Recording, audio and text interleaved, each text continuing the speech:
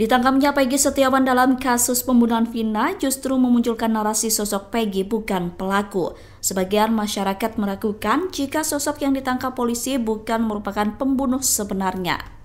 Bahkan sempat beredar kabar Peggy yang ditangkap Polda Jawa Barat itu merupakan seorang tukang bakso.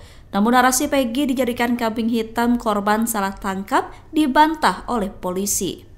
Polisi memastikan Peggy bukan korban salah tangkap dalam kasus pembunuhan Vina dan Eki. Hal itu dikonfirmasi oleh Kasat Reskrim Polres Cirebon Kota, AKP Anggi Eko Prasetyo pada Kamis 23 Mei. AKP Anggi menegaskan pihaknya yakin tidak ada kesalahan dalam penangkapan Peggy Setiawan.